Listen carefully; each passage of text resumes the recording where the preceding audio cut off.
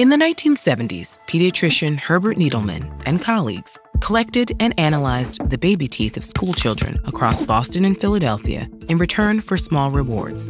But their so called Tooth Fairy project confirmed a dark reality. Many kids had been exposed to lead. Lead is a metallic element that's distributed across Earth's crust.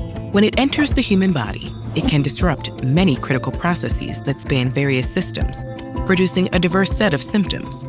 This is because the body tends to falsely recognize lead as similarly charged metallic elements like calcium, iron, and zinc, and use it in their place for essential reactions, wreaking whole body havoc.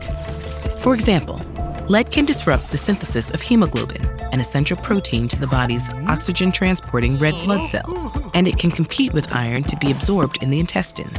Both things can lead to anemia and fatigue.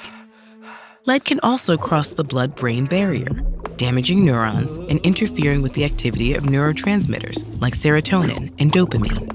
This can spur cognitive and behavioral changes, including hyperactivity and aggression. And because of negative effects in other areas, lead exposure can also cause high blood pressure, headaches, pregnancy complications, and abdominal, joint, and muscle pain.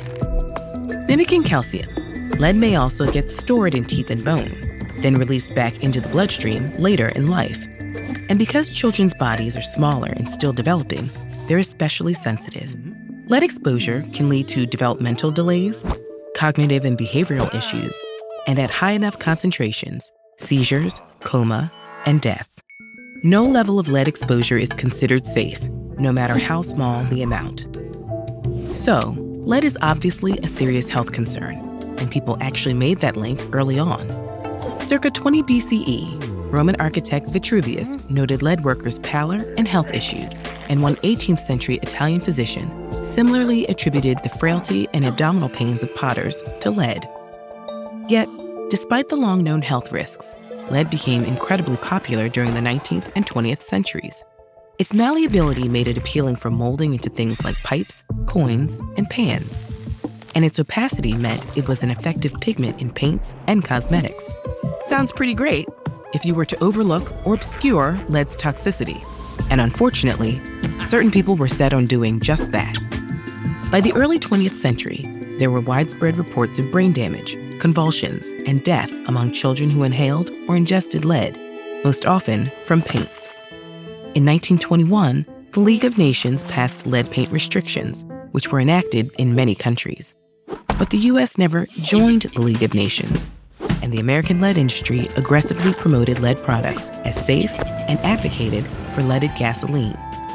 Through the 1960s, activist groups like the Young Lords and Black Panthers brought attention to lead poisoning. The lead industry, in turn, attempted to blame the issue on lower income parents. Their claim? That the parents didn't prevent their kids from crawling around and putting their hands in their mouths, typical behavior among children. But evidence about lead's harms were accumulating. When Needleman's team compared the lead levels in the baby teeth they'd collected, they realized the children with the highest amounts performed worse on cognitive and behavioral assessments, findings the lead industry attempted to undermine and obfuscate. Gradually, the U.S. introduced laws against lead paint in the 1970s, lead water pipes in the 80s, and leaded gasoline in on road vehicles in the 90s. But none of this undid the damage of decades of aggressive lead implementation. And the process of removing lead is dangerous, time consuming, and costly. As of 2024, lead paint still coats walls and contaminates soil and water worldwide. Tens of millions of people in the US alone drink water from lead pipes. The lead industry made billions following the same denial and disinformation playbook the oil and tobacco industries used, sometimes even relying on the same consulting firm. But there have been some steps towards justice. In California in 2019, lead manufacturers were ordered to finance over $300 million worth of lead paint replacement, a glint of levity in a history leaden with industrial greed. If you enjoy learning about history, subscribe to this channel because the lessons of yesterday can help us face the challenges of today.